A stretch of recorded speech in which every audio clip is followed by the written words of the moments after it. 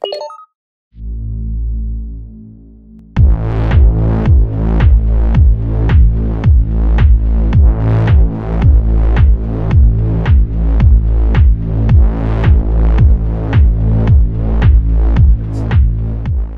dass ihr wieder dabei seid zu einer neuen Folge vom MLC Late Night Talk.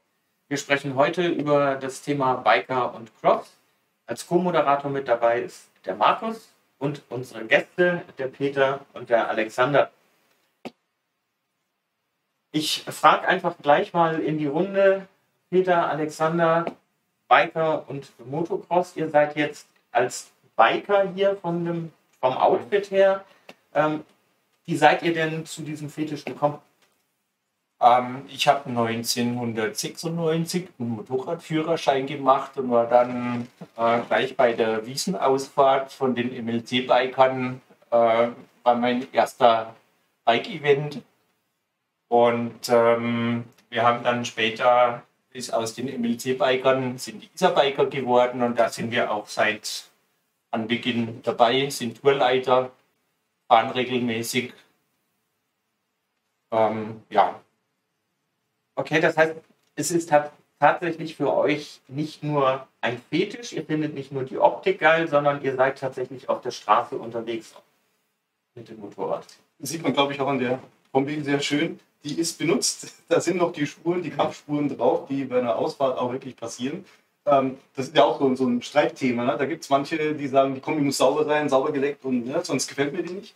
Aber eure sind ja wirklich im Leben benutzt. Hat das auch eine Auswirkung darauf, ob man das dann so richtig geil findet, noch mehr genießt? Also bei mir muss ich sagen, ist eigentlich egal. Also die, wie du schön sagst, die Kampfspuren, ja, die kommen halt, weil ich sie eben auch tatsächlich zum Motorradfahren verwende. Äh, es ist aber trotzdem auch ein Fetischobjekt. Und wenn sie dann halt so aussieht, dann sieht sie so aus, dann ist es realistisch. Aber wenn sie geputzt ist, ist es auch okay. Also es muss nicht sein. Äh, ich habe da auch mehrere. Als Fetischist, glaube ich, ist es jetzt nicht so verwunderlich. Und äh, ja, alle werden eigentlich auch zum Fahren verwendet. Wobei ich dazu sagen muss, dass das Motorradfahren ähm, ein Hobby ist. So, es ist eine schöne Kombination aus Fetisch und Hobby, aber bei mir funktioniert das Motorradfahren auch ohne den Fetisch. In nicht so sexy Kleidung, wenn das Wetter das verlangt, dann ist es eben so. Aber die schönste Kombination ist natürlich immer, wenn man den Fetischismus in diesem Fall mit dem Hobby verbinden kann. Von daher natürlich lieber so. Und die Kombi wird natürlich bequemer, wenn man sie mehr benutzt oder halt auch okay. auf, dem, auf dem Motorrad, was dann natürlich, wenn man sie mal nicht auf dem Motorrad anhat, ist man dann auch ein bisschen beweglicher, als wenn sie so ganz neu ist. Das ist ja auch ein wichtiges Thema, ähm, wird oft angesprochen. Die Kombi, die Techno, da habe ich übrigens auch eine zu Hause, die hatte noch sehr viel Leder, Lederkombi, wie der Name ja schon sagt. Ähm, dann gibt es modernere Varianten, moderner in dem Sinne, äh, wie die beiden, die wir hier sehen, da ist auch schon viel Stoff dran. Tut das dem Fetisch, also gibt es dem Fetischen Abzug, dass man sagt, da wird mehr und mehr Stoff eingebaut? Achtet man da drauf, wenn man sich eine neue kauft oder auch gebraucht auf den entsprechenden Seiten umguckt? Es lässt sich heute kaum mehr vermeiden, dass äh, so viele Textileinsätze drin sind und es ist natürlich auf dem Motorrad deutlich bequemer, weil es halt nachgibt. Aber das Schönere ist schon, wenn sie komplett in Leder ist oder wie bei ähm, Rebellion dann auch mit dem Lederfutter. Das hat dann schon noch ein ganz anderes Tragegefühl, als wenn innen drin ein Kunststoffnetz wäre. Du sprichst jetzt schon Marken an. Ähm, Gibt es da spezielle? Ist das, sag ich mal, für den Fetisch konzentriert er sich auf bestimmte Marken oder ist es eigentlich wurscht und Hauptsache ich habe die Lederkombi? Ich denke, das ist modellabhängig. Wenn man jetzt an die, ähm, an die TH denkt, die hat ja hier die schrägen Reißverschlüsse, die so schön über die Nippel gehen. Da kann man natürlich schön spielen damit. Und ansonsten denke ich, erlaubt es, was gefällt. Oder wenn man im Laden steht, ähm, da wo der Schritt reagiert, dann ist das wohl das Teil, was einen anspricht und dann sollte man das auch kaufen. Also es ist jetzt nicht unbedingt fixiert auf, es muss, weiß ich nicht, wir haben jetzt hier eine Dainese, wir haben ein, eine Vanucci-Kombi hier. Ähm, da muss es nicht die eine bestimmte sein. Es ist also kein wirklicher Markenfetisch, sondern es geht um die Klamotte. Ja, muss man schon sagen. Die, Es gibt schon auch Markenfetisch. aber, ja, aber das würde ich sagen, ist wie bei anderen Fetischen auch, wenn man da jetzt an Sportswear, Sneaker etc. denkt. Äh, da gibt es auch einen gewissen Markenfetisch. Es sind so bestimmte Firmen, die einfach überrepräsentiert, überrepräsentiert sind. Äh, das würde ich sagen, ist ganz allgemein in dieser Szene, wenn man Szene nennen möchte, äh, schon auch so. Also es gibt bestimmte Marken, da gehört Dainese einfach dazu. Es ist aber auch die Firma ist auch Italiener. Schon aber auch hier Vanucci. Äh, ist schon überrepräsentiert. Und ich denke schon, dass da ein gewisser Markenfetisch dahinter steckt. Bei Crossgear, wie jetzt hier bei Markus, ist es nicht ganz so, weil da auch, also, aber ich glaube, da ist es noch ein bisschen gemischter. Ähm, liegt vielleicht ein bisschen daran, dass die großen Firmen auch häufig sehr gute Schnitte haben, was also bei unbekannteren Marken mir selber aufgefallen ist, dass sie einfach nicht so gut passen. Ähm, ich will da jetzt gar keinen Namen nennen, aber es gibt eben einfach in großen Motorradketten gibt es so Eigenmarken. Äh, meistens passen sie nicht ganz so gut oder sind dann einfach nicht so bequem. Ob die jetzt weniger geil sind, das würde ich jetzt persönlich nicht bejahen. Also ich finde, es kann auch durchaus eine No-Name-Marke sein, wenn der Kerl, der drin steckt, entsprechend sexy ist, dann ist die Verpackung, macht das Ganze dann noch besser. Gesamtpaket muss stimmen und dann Da muss es dann eher stimmen, ja. Und also ich bin da jetzt auch nicht derjenige, der sagt, ach, der Inhalt ist gar nicht so wichtig, der Fetisch ist das Wichtigste am Ganzen. Der Fetisch ist wichtig, aber es muss trotzdem passen. Also wenn ein Typ drin ist, der auf gut Deutsch gesagt scheiße ist, äh, dann nutzt die ganze Optik nichts mehr, das ändert dann nichts mehr.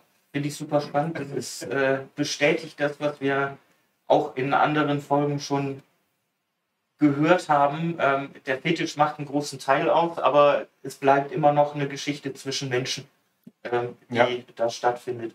Und es muss halt auch das Gesamtpaket insofern stimmen, dass es, ähm, sage ich mal, auch authentisch wirken kann. Mhm. Also man kann ja auch eine äh, Lenglitz anhaben, die anziehen, es ist äh, schwarzes Leder und die Person, die es trägt, der steht es dann überhaupt nicht. Also auch, auch sowas gibt's.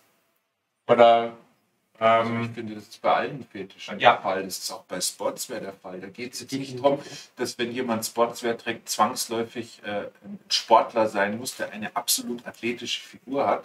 Aber es gibt halt auch Extreme, wo ich mir denke, das sieht jetzt einfach nicht mehr aus.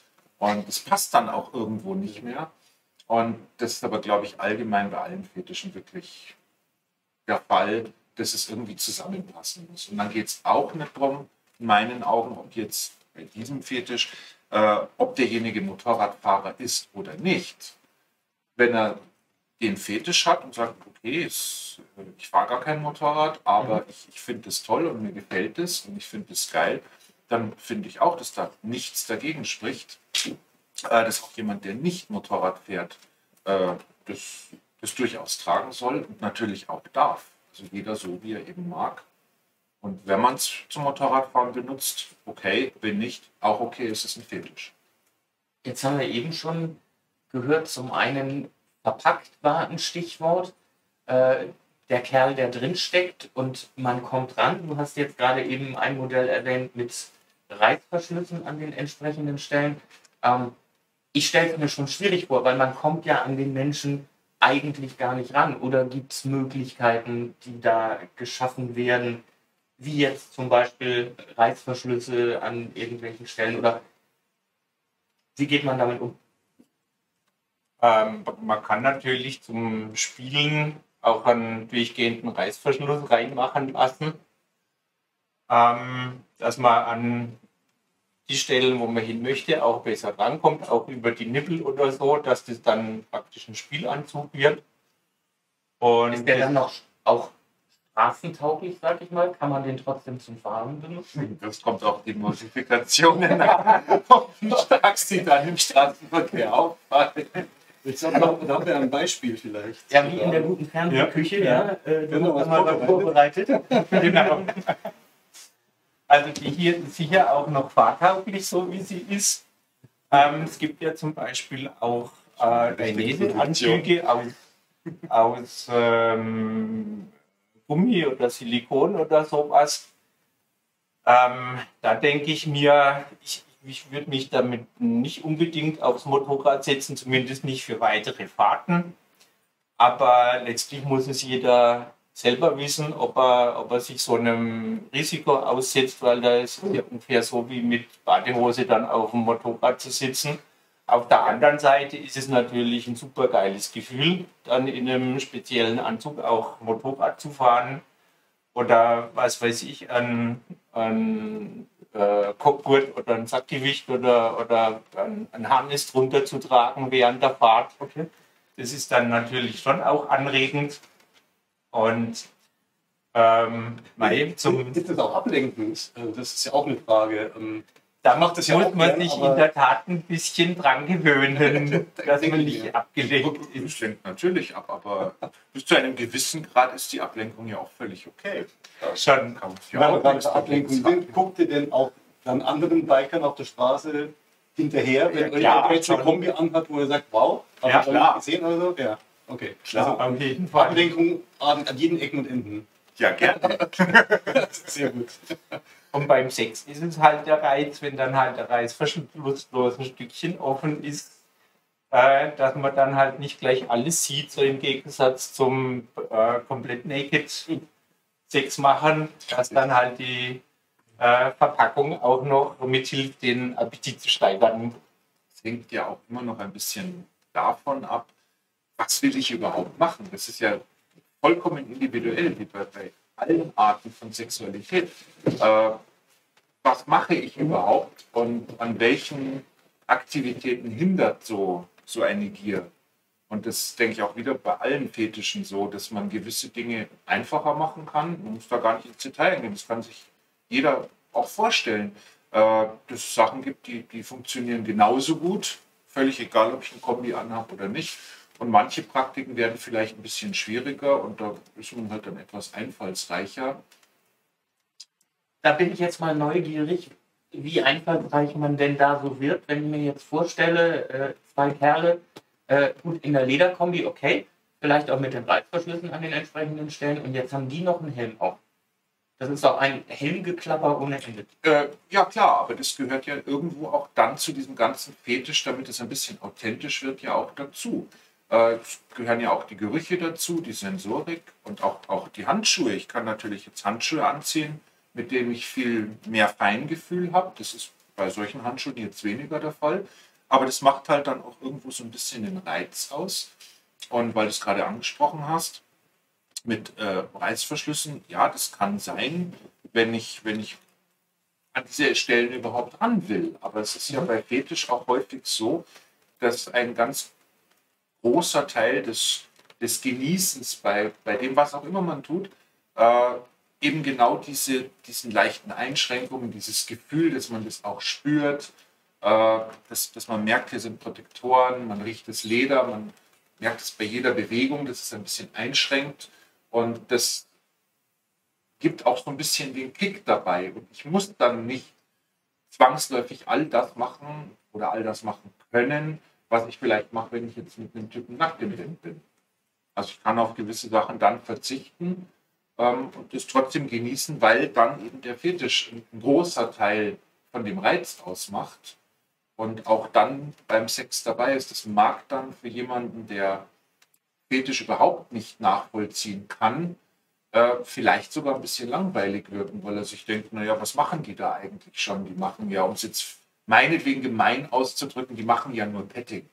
Also sprich, wenn ich einen Helm auf habe, dann ist vielleicht Oralverkehr, also dann zumindest aktiv etwas schwierig, das geht mit Helm nicht, aber ich kann mir dann ja immer noch einblasen lassen, ich kann wichsen, ich kann anfassen, ich habe trotzdem genügend Möglichkeiten, das zu genießen, ohne dass, dass diese Einschränkungen in irgendeiner Weise tatsächlich einschränken. Ähm, zum Thema Einschränkungen noch was ganz Praktisches. Ihr seid als Isarbiker ja auch viel eben unterwegs in den Outfits. Äh, da gibt es ja sicher auch Outfits, die jetzt für die Straße vielleicht entweder nicht zugelassen sind oder nicht gut gedacht oder nicht geeignet. Ich sehe jetzt hier die Öhrchen, das, sind jetzt, das ist wahrscheinlich jetzt kein Problem, wenn die fest am Helm dran sind. Aber sowas wie ein dunkel getöntes Visier oder ein verspiegeltes Visier, da kommt man ja manchmal auch schon so mit dem Gesetz vielleicht in Konflikt. Gibt es also da Grenzen für das Outfit, was man wirklich auf der Straße tragen kann und sollte? Ja, absolut. Weil in dem Moment, wo ich auf dem Motorrad sitze, ähm, nehme ich am normalen Straßenverkehr teil und unterliegt dort jetzt nicht nur den Gesetzen und Regelungen, sondern es ist gerade beim Motorradfahren auch eine Frage der Sicherheit. Und da muss man sich dann einfach dran halten und kann jetzt nicht den Fetisch mehr in den Vordergrund stellen, sondern man muss dann wirklich sagen, nee, das geht nicht. Ich darf auch nicht unter irgendwelchen Drogen, Alkoholeinfluss oder so am Straßenverkehr teilnehmen, ob ich das beim Sex für mich mache oder nicht. Aber in dem Moment, wo es im Straßenverkehr ist, geht es einfach nicht. Da geht es wirklich um nicht nur um die eigene Sicherheit, auch um die der anderen. Und das ist in meinen Augen so wichtig, dass ich dann sagen muss, nee, da geht wirklich die Verkehrssicherheit vor. Und das ist eben jetzt auch bei Helmen der Fall. Es gibt Helme, die sich eher als Fetischobjekt eignen als jetzt der. Das ist jetzt wirklich ein super bequemer, fantastischer Helm für den Straßenverkehr. Ob er jetzt so sexy ist, das muss jeder selber beurteilen. Aber es gibt Helme, die sind richtig geil, aber die würde ich niemals im Straßenverkehr anziehen. Wenn ich die brauche, dann muss ich sie halt im Gepäck zum Date mitnehmen, aber eben nicht tragen, während ich auf dem Motorrad sitze. Und das gilt jetzt auch für Stiefel, das gilt für Handschuhe. Ähm, eigentlich die ganze, die ganze Kleidung, das, das ist wichtig. Was aber natürlich funktioniert, wenn man, wenn man jetzt irgendwie speziellere Fetischklamotten anziehen will, die jetzt nicht unbedingt ähm, motorradtauglich sind, dass man dann eben aus dem Crossbereich dann ein Protektorenhemd drüber zieht oder was und dann ist man ja auch wieder sicher und hat dann auch einen Rückenprotektor, den Schildkrötenpanzer ähm, Ellbogen, Knie, alles was dazugehört. Und dann kann man natürlich darunter auch einen Latexanzug oder sonst was anziehen. Voraussetzt ist einem dann nicht zu kalt beim Fahren. Aber das ist dann sicher auch ein, ein ganz eigenes Erlebnis. Oder wenn man äh, in, in der Toskana bei 40 Grad äh, in der Sonne unterwegs ist und wer es mag, dann da in einem schwarzen Latexanzug, das ist sicher auch was Besonderes. Ihr, sprecht, ihr sprecht ja auch als Erfahrung als Skier-Biker, organisiert ja auch Ausfahrten, die jetzt auch nicht unbedingt was mit Fetisch zu tun haben. Das heißt, ähm, es gibt da durchaus auch ähm, ernsthafte Anwendungen dieses, äh, dieses Fetisches, ähm, weil man die Ausfahrt an sich ja genießen möchte. Und dass die Jungs, die dann da dabei sind, entsprechend aussehen, ist dann sozusagen ein Add-on. Aber für euch steht dann tatsächlich auch die Ausfahrt, die Natur, die, die Gemeinschaft im Absolut. Ja. Das ist wirklich, äh, dieses ganze Thema Isarbiker, das ist wirklich ein, ein Hobby. Da geht es ums Motorradfahren und es wird auch aus diesem Grund dort niemand in irgendeiner Form ausgegrenzt, der nicht in Fetisch da teilnimmt, dass er sagt, äh, ich kann damit nichts anfangen, aber ich möchte gerne Motorrad fahren und möchte gerne in einem schwulen, einer schwulen Motorradgruppe fahren, äh, dann ist er da genau richtig. Der Fetisch ist, wie du sagst, ein Add-on. Das heißt, äh, auch jemand, der im Fetisch gerne da teilnimmt, ist genauso willkommen, darf genauso mitmachen. Es ist aber nicht Ziel der Sache, sondern das muss man dann ganz klar trennen. Es gibt gerade vom MLC diverse Veranstaltungen, auch im Underground. Äh, da geht es dann nicht ums Motorradfahren. Da ist dann egal, ob man mit dem Motorrad oder mit dem Bus dahin kommt, sondern da ist dann wirklich wieder der Fetisch das Hauptthema. Und wenn jemand eben nur den Fetisch hat, dann ist er bei den Isarbikern vielleicht nicht ganz gut aufgehoben, weil ohne Motorrad müsste er hinterherlaufen. äh, das ist ein bisschen schwierig. Man kann aber natürlich es auch insoweit kombinieren, wenn man zum Beispiel jemand als Sozius mitnimmt. Der hat natürlich Möglichkeiten, die man als Fahrer nicht hat. Hm. Eben um zum Beispiel die vorigen Eingeschränkungen hier ein bisschen anzusprechen. Es geht ja auch um Sichtfeld. Ich muss einfach äh, ein Sichtfeld haben, damit ich gerade auf dem Motorrad den Verkehr wirklich gut beobachten kann. Während überhaupt nichts dagegen spricht, wenn ich einen äh, Sozius hinten drauf habe, der kann durchaus mal eine Maske tragen, eine Gummimaske, vielleicht, dass er da nicht zieht.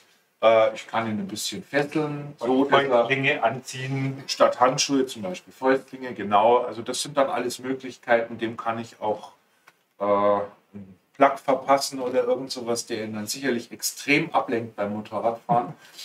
Äh, nur er muss sich ja nicht konzentrieren aufs Fahren, er muss ja nur aufpassen, dass er nicht runterfällt.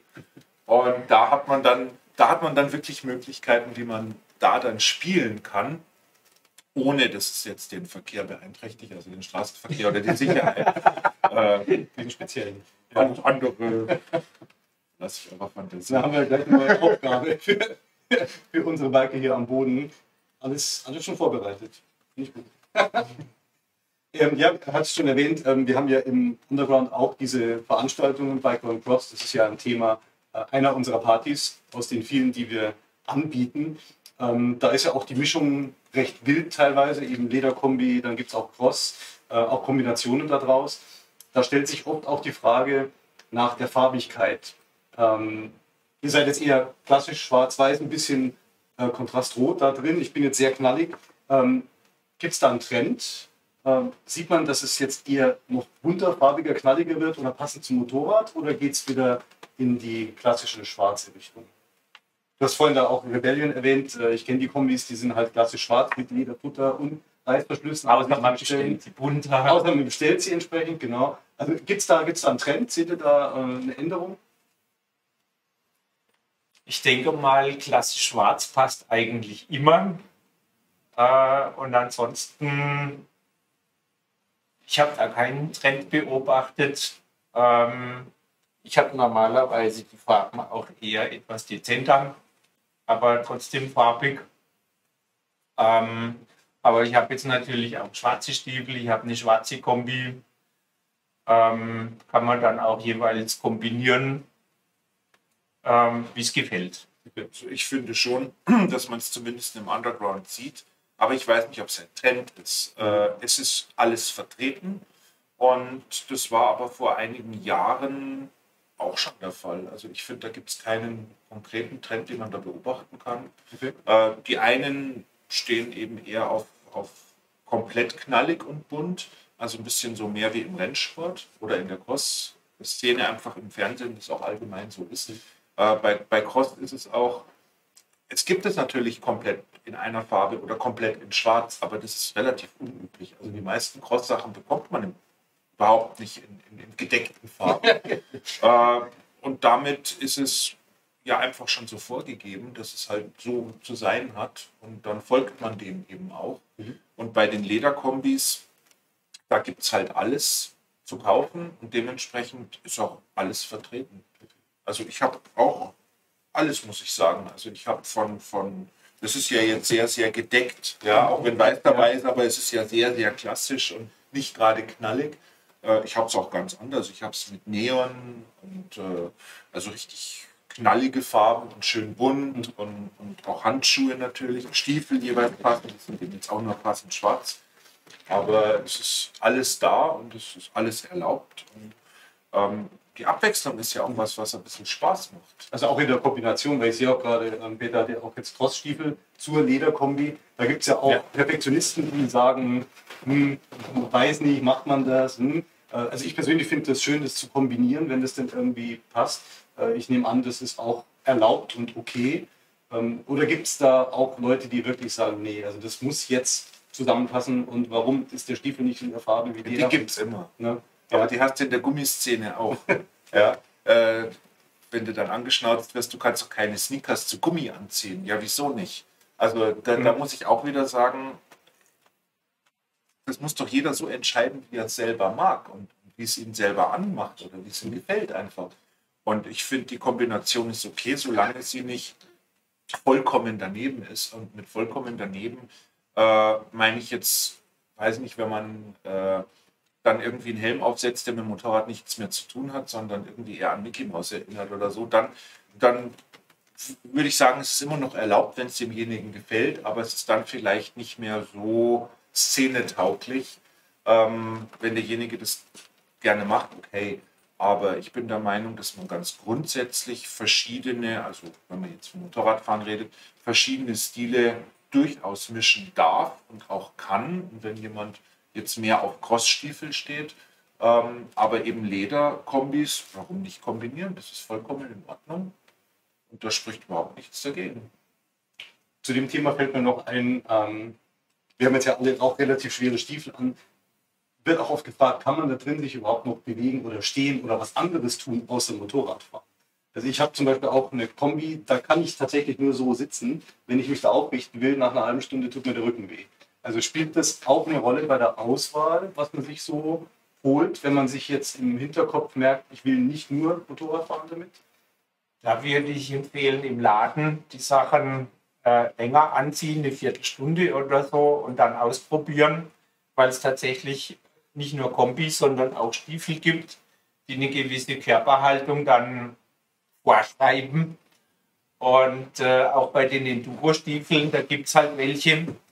Ähm, kleine Anekdote, vor ein paar Jahren waren wir in Tirol mal irgendwo in einem Café drin und diese Stiefel, die quietschen beim Laufen.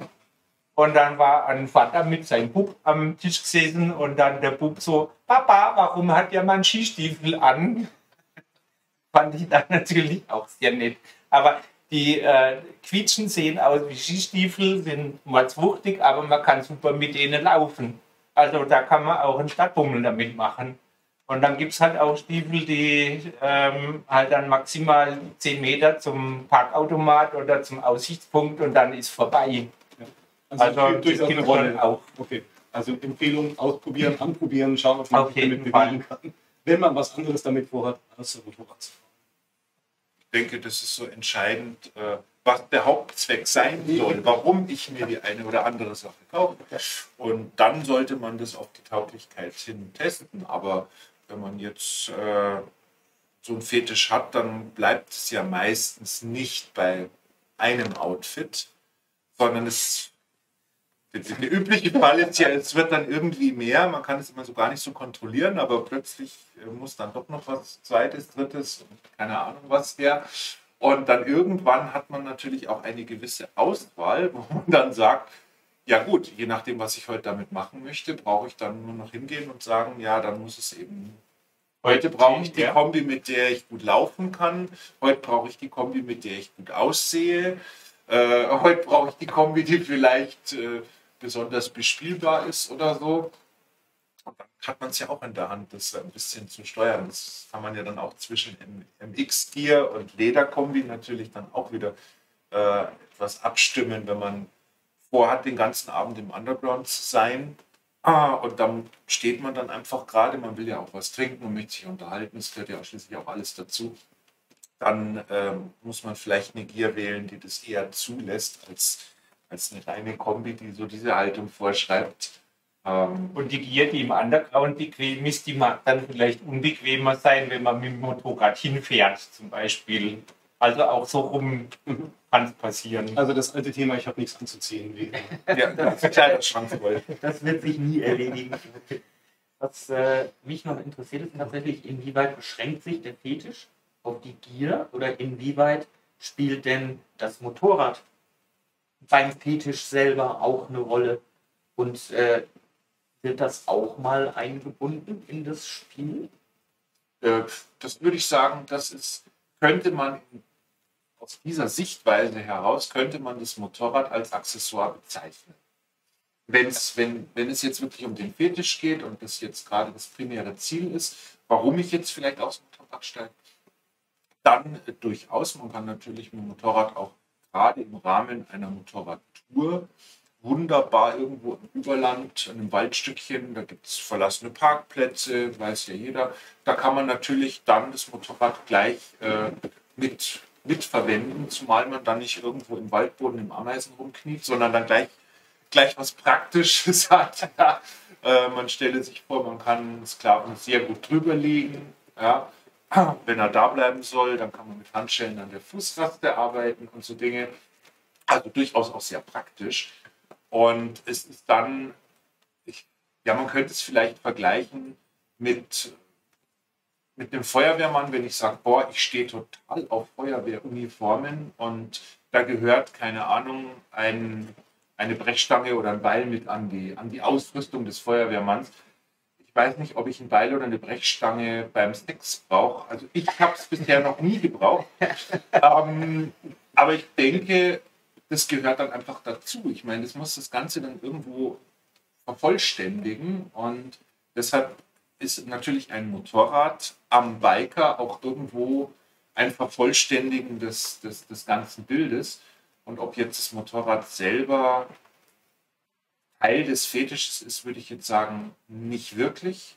Also das Motorrad als solches mag dann ein praktischer Gegenstand sein, der auch das Bild, wie gesagt, vervollständigt, aber das Motorrad selber ist bei mir und ich denke auch bei den meisten anderen, bei den meisten anderen äh, nicht unbedingt Objekt der Begierde, sondern ohne den dazugehörigen Biker ist es halt dann doch einfach nur ein Motorrad. Okay. Wie ist es mit der Motorvibration? Das äh, höre ich von manchen, dass sie sagen, okay, gerade wenn sie vielleicht auch geplagt sind oder in ähnlicher Weise äh, etwas tragen, ist die Motorvibration, die Fahrt an sich ja schon anregend. Ähm, passiert es also auch, dass man im Prinzip, lass uns aussprechen, vom Fahren geil wird? Kommt es vor? Ja. Ich habe häufig, hab häufig eine Latte, wenn ich auf dem Motorrad sitze. Und das ist, hat nicht mit der Geschwindigkeit zu tun, sondern insgesamt mit dem, mit dem Fahrgefühl, mit dem, mit dem, wenn ich jetzt Entspannung sage, trifft das Wort nicht ganz, sondern das, das, das Fahrerlebnis und, und das ähm, Freifühlen und vielleicht auch so die Entspannung, die da mit zusammenhängt. Und dann äh, gibt es da schon sehr schöne Gefühle, auf jeden Fall. Hängt ja auch noch vom Motorrad ab. Also eine Crossmaschine oder eine mit äh, eine Boxer, ein Boxermotorrad, sei es von einer süddeutschen Firma oder auch von einer anderen, äh, erzeugt ja auch entsprechend mehr Vibrationen als irgend so ein Hochleistungsrennhobel. Ja, da ist dann mit Vibration weniger. Gut, da mag dann das Fahrwerk wieder zuschlagen, aber also es hängt auch ein bisschen vom Motorrad ab. Das heißt, man kann damit auch einem eventuellen Sozius was Gutes oder was Fieses tun, wenn man die Strecke entsprechend wählt oder das Motorrad. Ich sehe die Blitze aus dem Auge. ja, auf jeden Fall. Stört mich aber jetzt nicht. Es kommt ja noch was dazu. Äh, das ist ja dann auch noch eine Kopfsache. Wenn, wenn ich jetzt als Fahrer auf dem Motorrad sitze, spüre ich das natürlich, aber wenn ich jetzt weiß, ich habe hinten noch jemanden draufsitzen, der entsprechend präpariert ist oder nicht, äh, die nächsten Blitze. Dann ist es ja auch so die Geschichte, dass man das so ein bisschen auch mitkriegt. Ja? Der kann dann in der Regel seine Hände auch nicht ruhig halten oder so, weil er dann irgendwie unruhig wird da hinten. Und das kriegt man natürlich als Fahrer dann auch absolut mit. Und dann ist es eine Kopfsache. Dann, dann sind es nicht mehr die Vibrationen, die einen geil machen, sondern das Wissen, ähm, wen man hinten drauf hat oder, oder wie es dem vielleicht gerade gehen mag. Und das ist dann natürlich schon extrem anregend, wenn man, wenn man den Spaß genießen kann oder die Tatsache genießen kann, dass da hinten einem gerade richtig gut geht. Oder auch nicht, je nachdem, was man möchte. Das ist schon ein ganzheitliches Erlebnis. Oder die Latte vom Sozius im Rücken spürt. Das gibt es dann relativ häufig generell bekommt äh, der Begriff Plug-in-Technologie gerade eine völlig neue Bedeutung, auch unabhängig von Elektromotor. Besonders beim Motor. Sehr schön. Beim Auto, glaube ich, funktioniert das nicht. Schwierig. Ja, dann äh, glaube ich, haben wir die wichtigen Themen abgegrast. Die Dinge, die uns unter den Nägeln gebrannt haben. Schön, dass ihr uns ein bisschen was erzählt habt über euch und was ihr so tut und einen Einblick in ja, diesen Fetisch und das Fahren gegeben habt. Ich finde es besonders schön, dass eben das Gesamterlebnis da auch im Vordergrund steht und eben nicht nur der Fetisch, nur die Fahrt, sondern dass die Kombination natürlich noch was ganz Besonderes ist. Danke, dass ihr hier wart. Gerne. Du hast jetzt gar nichts dazu gesagt. Siehst du das auch so? Oder? Ja. Prima. Dann danke schön, dass ihr da wart. Danke für die Zeit. Danke für die Einladung. Allseits gute Fahrt, genau. Bis bald. Das wünschen wir euch. Und euch danke fürs Zuschauen. Bis zum nächsten Mal.